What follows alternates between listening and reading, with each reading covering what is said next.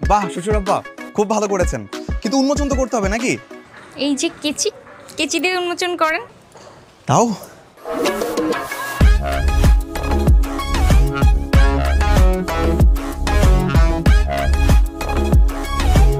আমার ভাই! হ্যাঁ?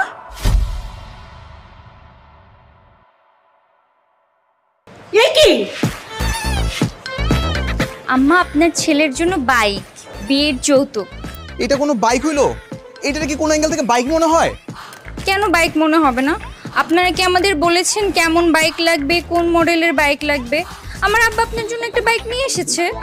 এই কোনো মডেল বলি নেই বলে কি এরকম একটা বাইক কেউ কাউকে দেয়? আর নতুন বিয়ে করা যাবে কি কি এরকম একটা বাইক কখনো উপহার দেওয়া যায়? আর হয়েছে তো হ্যাঁ? বাইক তো এসেছে। এখন এত চেঁচামেচি করার কি আছে? আরে তুমি চুপ থাকো ভালো মানুষ কোথাকার হ্যাঁ? এখন চিল্লাচ্ছে কেন? আচ্ছা ওরা আমাদের সাথে এত বড় একটা অন্যায় করল আর আমরা চুপ করে বসে থাকব? ছিল। যখন যৌতুক রেডি করতে পারতেন তখন বিয়ে দিলে পারতেন। আম্মা বিয়ের জন্য আমাদের তাড়া ছিল না তো। আপনারাই তো তাড়াহুড়া করেছেন। আমাদের বিয়ের অনুষ্ঠান করতে দেননি আত্মীয় স্বজন দাওয়াত দিতে দেননি। আমাদের কি দোষ বলেন?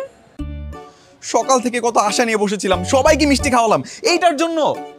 আপনি আপনার এই ভটভটি নিয়ে এক্ষুনি চলে যাবেন। এবং আমার ছেলের পছন্দ মতো একটা বাইক নিয়ে তবে আপনি আসবেন।